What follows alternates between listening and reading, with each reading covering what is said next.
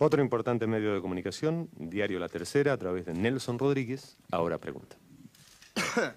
Luis Miguel, hace eh, justamente hoy 12 años que falleció un gran ídolo de la juventud de esa época, eh, Elvis Presley, en circunstancias que todavía no están muy aclaradas. En todo caso, se sabe que la vida de él no fue un paraíso, eh, fue alguien que muy atormentado, e incluso se dice que murió víctima de las drogas. Tú estás siguiendo una carrera parecida a la de Elvis Presley, eh, guardando las proporciones del, tiempo.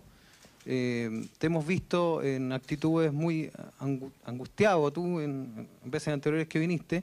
Eh, todo esto de la gente que te rodea, de, la gente que te dirige, de, la seguridad que, te, que no deja acercarse a nadie a ti, también te puede llevar a una vida parecida. ¿Qué piensas tú de esto? lo has reflexionado?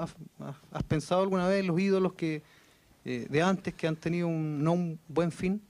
Creo que tomas un buen ejemplo. Por ejemplo, el...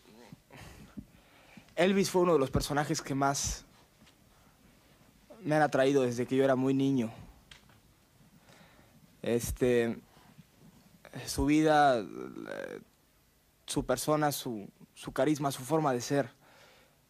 Siempre he tenido una gran admiración, una gran admiración por ese gran ídolo y, y todavía la sigo teniendo.